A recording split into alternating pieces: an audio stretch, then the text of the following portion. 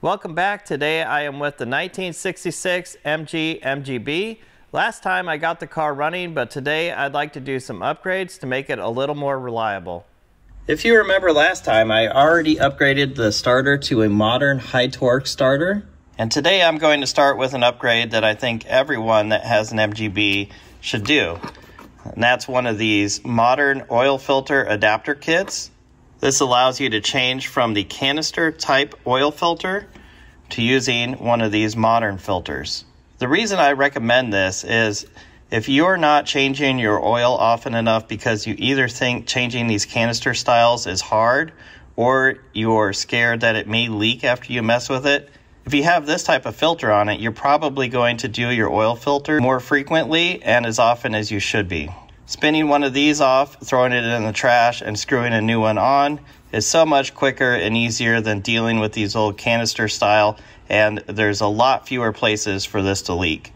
So I do recommend if you are driving your MGB, just go ahead and do this conversion. It's totally reversible. Just take your canister parts, put them in a box, and save them for later. I don't think anybody is going to fault you for using a more modern and better oil filter. Before I put the car up in the air to get the oil filter off, I'm going to remove this line here, which goes to the oil cooler. And that's because I won't be taking just the oil filter off. I'll also be taking off this adapter for the line for the oil cooler and replacing both of them. You need a one inch wrench to get this loose.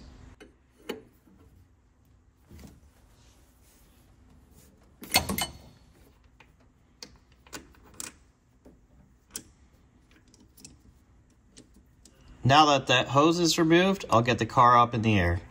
Now that we're under the car, just in front of the starter, this black canister is the oil filter. It comes off with just the one bolt on the bottom.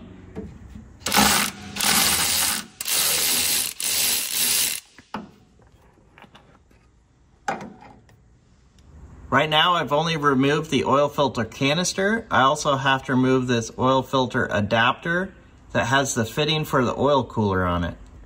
That should just pull right off.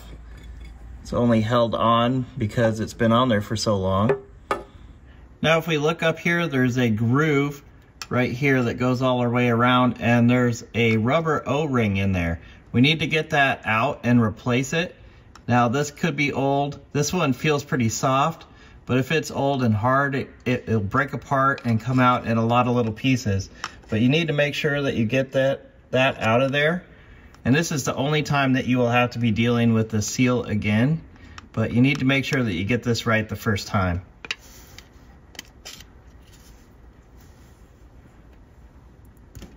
There we go. Looks like I got lucky this time. It came out easily in one piece.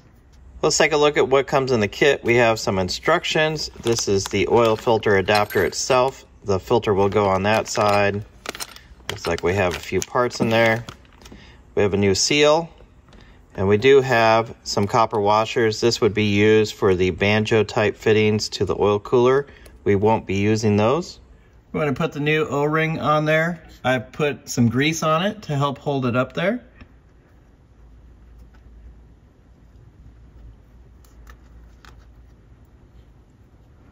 So once I push that in, the grease should hold that in place. Now I can take the new adapter. So we have the pieces together in this order. We have our adapter and extension, a locking washer, and then the spin-on filter adapter.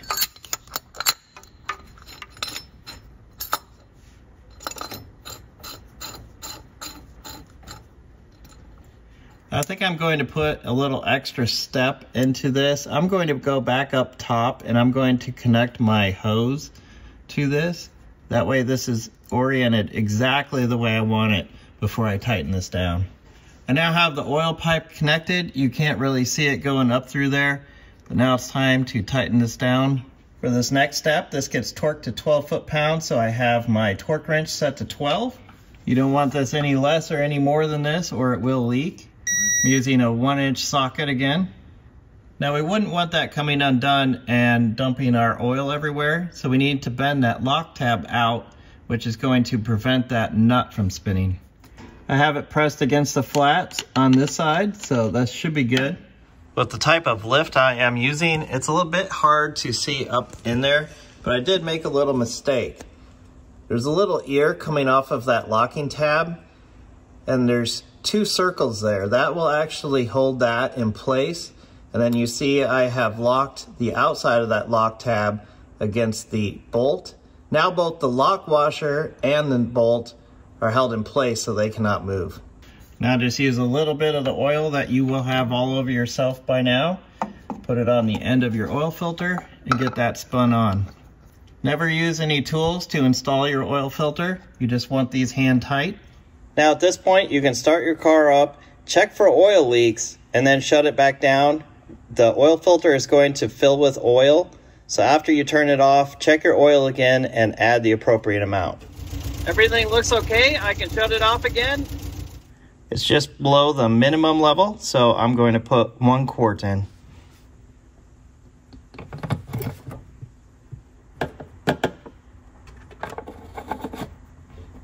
I think one of the next reliability upgrades you would want to do on an MGB is to replace this old generator with an alternator.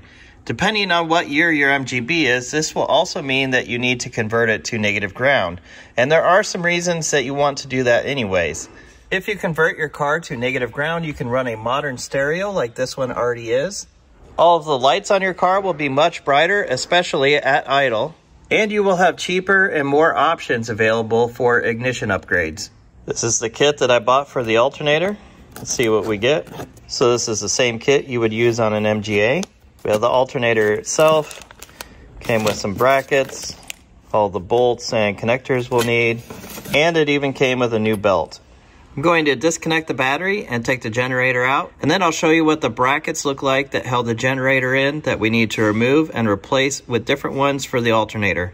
If we hold the alternator up where the generator was, you can see that we are going to be using the same front bracket, but the rear bracket is way back here. You could of course make spacers for that, but the kit comes with a new bracket that will take away that gap. So we will be taking this bracket off and replacing it with this one that brings this tab way over to here. Now with that new bracket in place and the alternator mocked up, you can see that the alternator is going to be hitting the bracket for the ignition coil. So we're going to have to relocate the ignition coil up further onto the fender. It's just three bolts on the motor mount to remove the bracket for the ignition coil. So I'm going to take the bracket off, put those bolts back in, and then I can unbolt the ignition coil from the bracket and remount the ignition coil on the fender.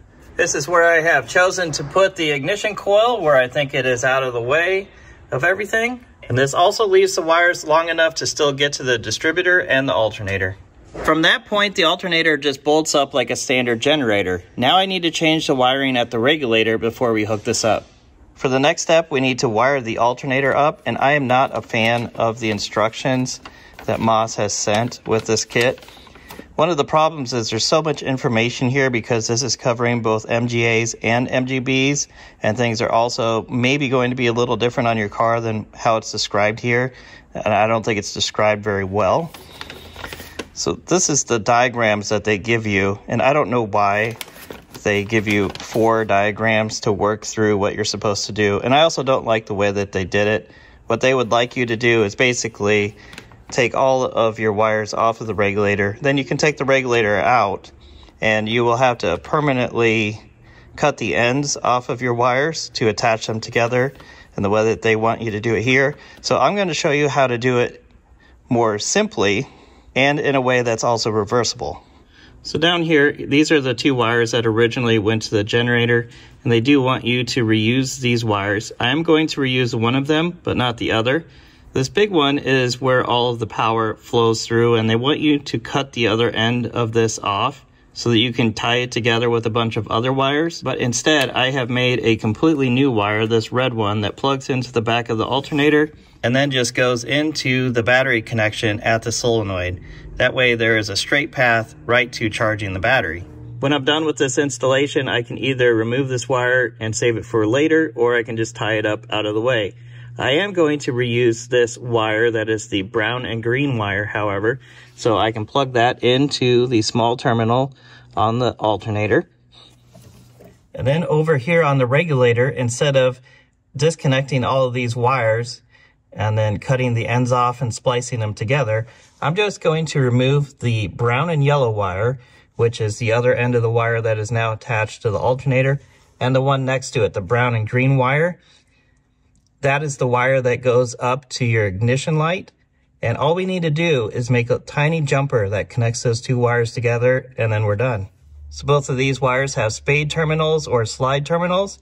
I just need to make a short jumper wire to connect these two together. And all the rest of these wires we can leave on the regulator and they will still work just fine. Here's my little jumper. Once I put this in, the alternator install is done. There's the little jumper in place. I'll just tuck that back and let's test the alternator. Currently the battery voltage is at 12.42 volts. Let's start the engine and see what it goes up to. The engine's running now, the voltage is going up. If I rev the engine up a little bit, it should go up even faster.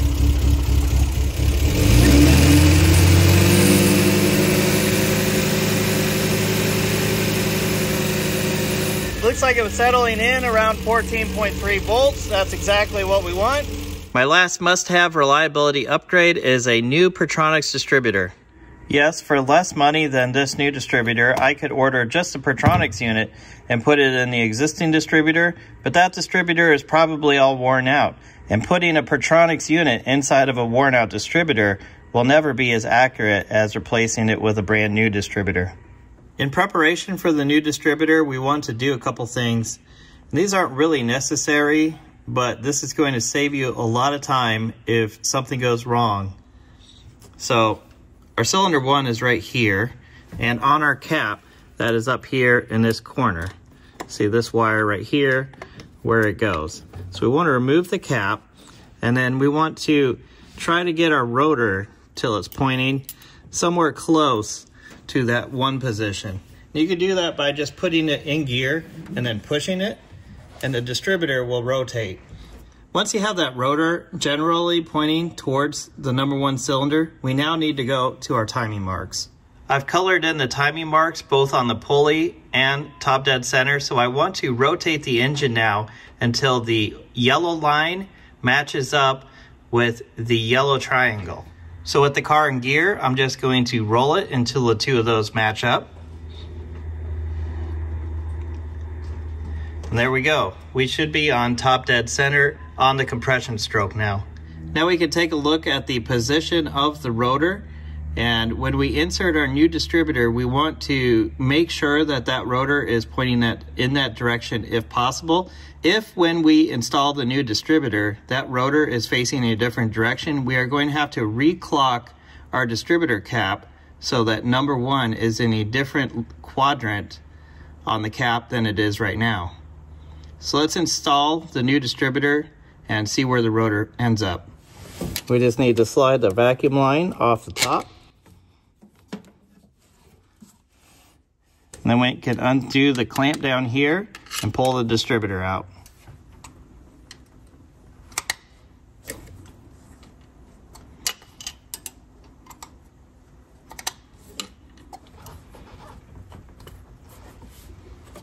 This one is held in there pretty tight, so I'm going to give the clamp a couple little taps.